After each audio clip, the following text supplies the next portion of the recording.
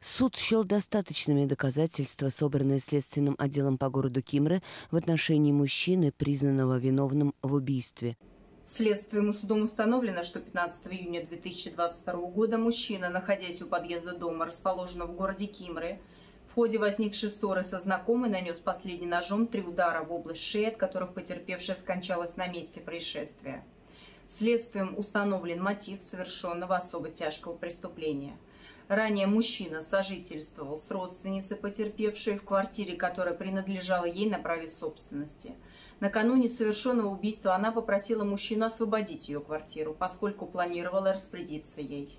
Руководством и следователем следственного отдела, криминалистом областного следственного управления и сотрудниками УВД детально осмотрено место происшествия, а также по месту жительства фигуранта проведен неотложный обыск, зафиксированы следы преступления. Приговором суда мужчине назначено наказание в виде 9 лет лишения свободы с отбыванием в исправительной колонии строгого режима.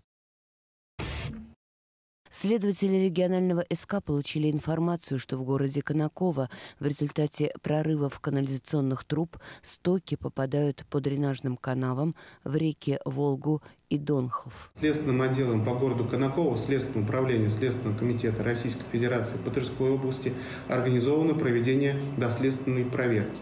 По итогам проверки будет принято процессуальное решение.